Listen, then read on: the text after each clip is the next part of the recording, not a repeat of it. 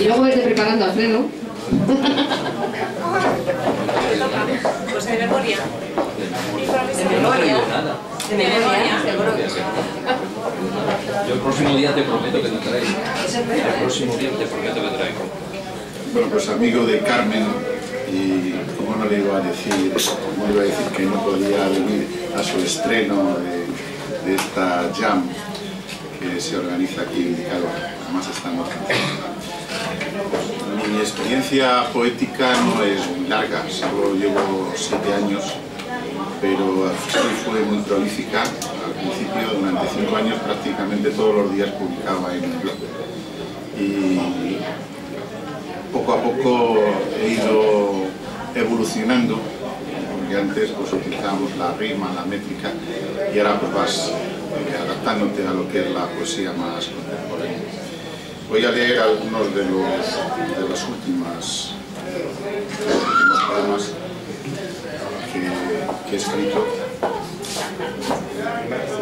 A ver, ahora sí, ¿no? De algo estoy seguro, o quizás no sepa si toda esta verdad es cierta, porque a veces dudo que la felicidad sea solo esto. Estás siempre en mi mente. Despierto y te encuentro ahí presente, una locura. Yo, que decía estar en forma de amar, era distinta. Amar no puede ser sufrir, pero te echo de menos. Me entristece pensar que puedo perderte. Nunca lo había pensado, porque jamás he creído que puedas alejarte. Pero hoy me he puesto triste al imaginar que la distancia entre nosotros ahora no existe, porque hay roce de piel con piel y mañana no. Yo quiero andar contigo.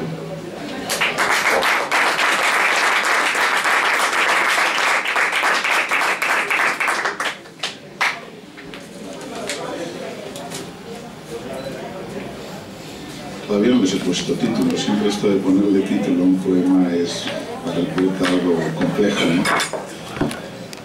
Dejamos la felicidad a un lado, al lado de un abismo sin bordes. Nos vamos sumergiendo en la rutina, imaginamos las caricias que no existen.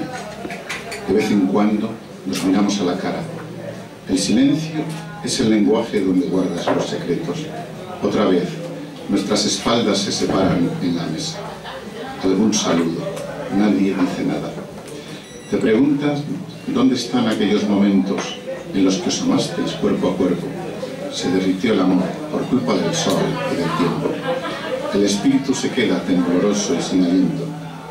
Hoy sueñas con un amor en la distancia y van pasando los meses y los días. Puede que te arrepientas de no coger el tren cuando estaba esperando en tu parada. Seguiré soñando que me quieres.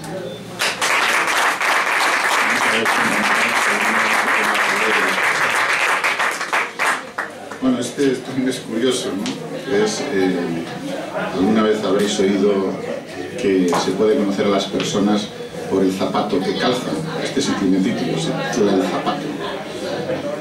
Muéstrame el perfil de tu zapato y sabré cómo eres de atrevida. Me dirá las veces que soñaste y le amaste en sendas desconocidas. Al mirar sus curvas y textura, yo sabré los años que tú amaste, las veces que tus besos abrasaban y las lágrimas que atrapa tu pañuelo. El zapato me revela tu alegría, tu despertar y tus logros en la vida. Eres alma al margen de tus huellas. Me lo dice la caricia de tus suelas. Cuánto amor respiras por la punta. Tiene un manto de luces y colores, embriagado por tu espíritu de amante. Si te dejas observar, descubro todo. Tu mundo, tu esperanza y tu ciudad. Esa flor que adornan tus cabellos, ascendiendo hasta el borde de los cielos. Un zapato es más que un complemento. Me habla de ti y me estremezco.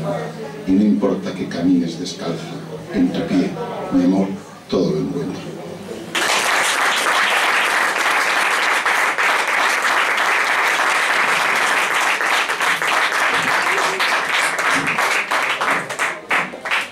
Bueno, yo veo allí mucho joven que no se me anima ninguno. ¿No tenéis ninguno, algún verso que compartir? ¿Ninguno? Bueno, ¿Tú tampoco, Javier?